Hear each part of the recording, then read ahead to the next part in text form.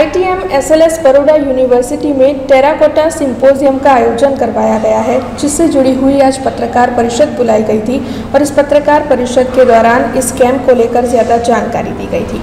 ITM SLS Baroda university जहाँ पर 20 नवंबर से लेकर 27 दिसंबर के दौरान टेराकोटा सिंपोजियम स्कल्पचरल कैंप का आयोजन करवाया गया है।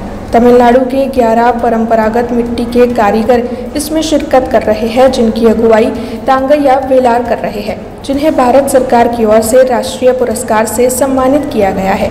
भारत के कई म्यूजियमों के अलावा इन कलाकारों की ओर से जापान, फ्रांस, कोरिया समेत बार देशों में अपनी कला का प्रदर्शन किया गया है।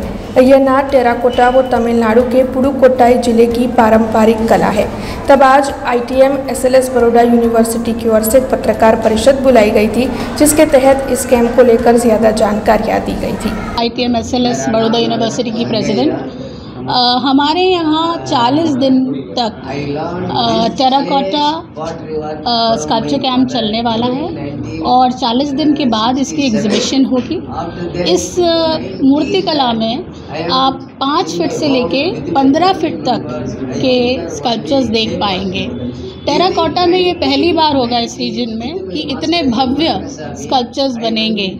और ये एक बहुत खूबसूरत कला है जो हम कोशिश कर रहे हैं कि हर व्यक्ति तक पहुँचे छोटे बड़े और इस क्योंकि बड़ौदा तो एक कला का आ, सेंटर है है ऑलरेडी तो हम चाहते हैं कि ये भी उसमें शामिल हो और लोग इसको आ, इससे अवगत हों इससे इससे इसका साक्षात से देख सके इसको साक्षात रूप से। इतनी बड़ी हैं वो, इनकी स्पीड आप देखेंगे आके कभी यूनिवर्सिटी में तो ये पाँच फीट की मूर्तियाँ सिर्फ़ चार दिन में छः छः सात सात मूर्तियाँ कंप्लीट कर लेते हैं। इतने फास्ट हैं, इतने स्किल स्किलफुल हैं ये। हमसे जुड़े रहने के लिए हमारे YouTube चैनल को सब्सक्राइब करें और नई वीडियो की नोटिफिकेशन के लिए बेल आइकॉन को दबाएँ।